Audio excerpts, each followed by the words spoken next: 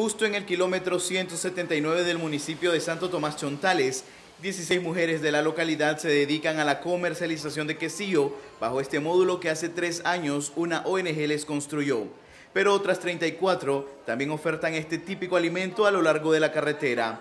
Cualquiera pudiera creer que se ven como competencia, pero es todo lo contrario, al punto que los precios son iguales en cualquiera de los stands. El quesillo sencillo vale 25, el doble vale 50, la libre la estamos dando a 90.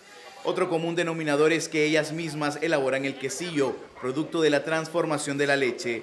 La faena inicia diariamente en sus casas a las 5 de la mañana. Son 20 galones, lo que yo trabajo. ¿Diario? Diario, sí. ¿Y de esos 20 galones cuántos quesillos le salen?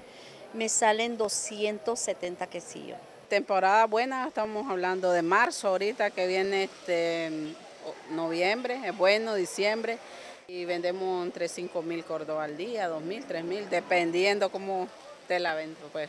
Terminamos a las 9 y media de la noche. A veces cuando el tiempo está bueno y miramos que hay movimiento, eh, vamos a las 12 o 1 de la mañana. Religiosamente todo aquel que viaja para el centro del país hace su parada para saborear esta delicia de la gastronomía nicaragüense. El famoso ya de, de, Nagarote no le llega a este. ¿Por qué? Porque el mejor este. Todo se basa en la leche y la calidad de la crema.